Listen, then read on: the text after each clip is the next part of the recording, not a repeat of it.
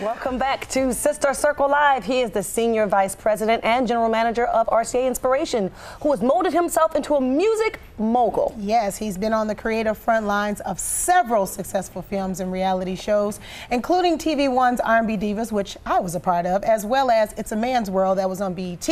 He joins us now to give us his take on Black Music Month and how black women are faring in the entertainment industry. Please welcome down to the circle, my good friend Phil Thornton. Yeah.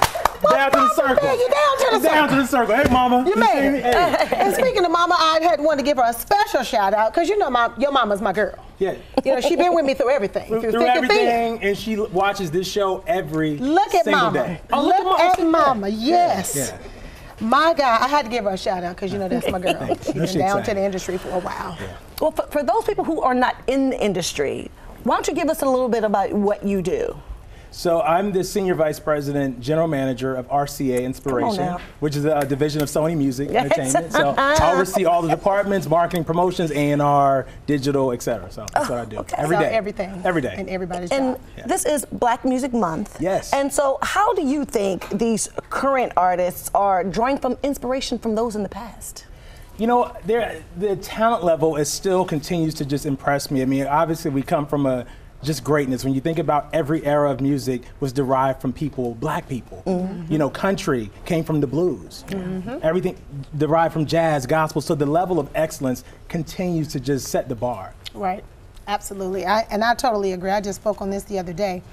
Um, speaking of which, you recently penned a powerful op ed in Billboard magazine Yeah. called Preserving and Growing the Legacy of Black Music. Absolutely. And I want to write, I want to uh, read a quote you wrote. You said, Back when all the majors housed a black music department that used to be a breeding ground of sorts, I'd actually like to see a revival of black music divisions at all the majors.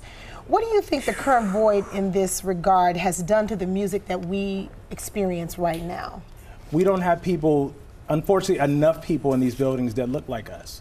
That understand the music, that. Mm. understand the culture. Syleena, you were with Jive. Trina, Hello, you were with. Atlantic. And they both had black music divisions Yes. and people that understood the music, the culture, how we speak, what really makes us move as a people. So we need more of that. It was a training ground for executives, and that's why we have people like Sylvia Rhone, Jon Platt. Yeah. So again, th- but they started heading up the black music division. We need to see the return of those. Ooh, we need to see a return of a lot of things. Exactly. What do you think needs to happen though? Like as far as if you were, if somebody said, Phil, what can we do?" Like if somebody came to you in the RCA, you know, the, the heads in the RCA and said, "Listen, what do we need to do to incorporate more of the black experience into music, at least from our end?" What could what could be the first step?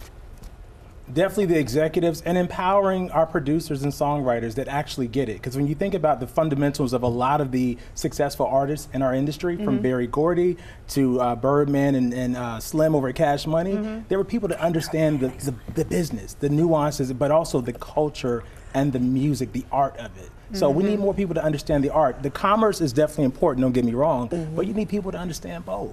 See, but it's changed so much with this digital age when we have completely gone away from that major Yeah, label yeah. support, and it has turned into not everybody, quite frankly, some buffoonery on different levels because everybody's a producer, It's a lot of fast everybody's food, an lot of artist, fast food. you know, and it's just it's, it's driving me batty. It just it really is. You know, as an artist who's come up under that Yes. umbrella of having that Well, label who has come up under uh, Toni Braxton? Hello, somebody. You know, Let's but, but be it's, very it's, you know, clear. it's changed so much. Not to divert. I'm just saying. It's, oh my gosh, it's just. Anyway, But, oh, but we, as, a, as African American adults, we need to start embracing the streaming platforms. Yes. The Apples, the Spotify's, the Amazons, because we need a voice. Because right now they're catering to the 18 to 24 year olds Yes. True. that don't Yes. necessarily appreciate the, the greatness that we grew up on. Right. Yes, and the That's true. legacy we gotta of it get our, all. we gotta get our Yes. technology Get together. our technology up. Yes, and, we, and I want to see more artists like yourself owning your masters and having a yes. say. Well, Yeah, oh my Yeah, man. yeah. Hold the line now. Wait a minute. Come on. Well, but but getting back on you, you know, Yes. you've done op-eds. You've been on uh, Iyanla Fix My Life, helping Yes. out LeAndria. Yes. How, now, how was that for you to, to, to be that person to kind of fill in that gap for her when she was when she really needed somebody? You know, it was tough, but it was necessary. Mm-hmm. Um, it wasn't easy. Just reaching out to Iyanla. Thank you, Donald Lawrence, because he connected us. Um, but it was needed. She was, she had hit rock bottom. Yeah. Uh, and again, and I was encouraged to look the other way. Um, But as a company, this was a company side as an individual, as a human being. I wanted to see her be the best individual, the best mother she can be, the best person. Mm-hmm. And I'm proud to say she's seven months sober. Yeah, That's- good for her. She's Come on, so LeAndria. talented. LeAndria, yes. We love LeAndria Yeah, down we to love the LeAndria. And I love LeAndria is one of my top five voices of all time. she's I love amazing. LeAndria. Incredible. Amazing. And speaking of LeAndria, you know, we go through a, a, a lot in the industry as women. And you Yeah. saw us, you saw me go through a lot, as well as some Where of the did I other see that? ladies. You Where? saw it down to the R&B Divas. Oh, that show. Okay, That you show. saw to the okay, okay. ATL. Yeah. Um, so with that being said, what do you think? Um, how do you think that black women are being portrayed in this industry, and what needs to happen for that to change? As as, you know, as putting on your producer hat, what needs to happen? One, let me take this platform to say thank you for always being the same and consistent and real. Thank you. Because we can't use what you don't give us, but sometimes the people on the other side of the camera, again, you need people that understand the culture. And you know, I have a I have a mother, I have sisters, I have you know black women around me, so I have to. I'm accountable. Yeah, so I'm not. So. I'm not That's going to perpetuate a negative stereotype. So you need more people that understand and want to have some respect. You know, next to their producer credit, it's not just about the check. Exactly. You know, so Yes. we got to make sure that we're keeping the integrity. Integrity. Yes. God. And the, the talent has to keep integrity as well. I'm just going to Yeah. say that from the reality standpoint. Ooh. Yeah. But um, that part. You have a new podcast. Yes. Tell us about it. We sound crazy. Okay. Mm-hmm. And so myself, Chuck Harmony, Claude Kelly, award-winning people. writers and producers, and Timon. Bacon. So every Tuesday, we launch every Tuesday on Apple, Spotify, and we talk about all things music.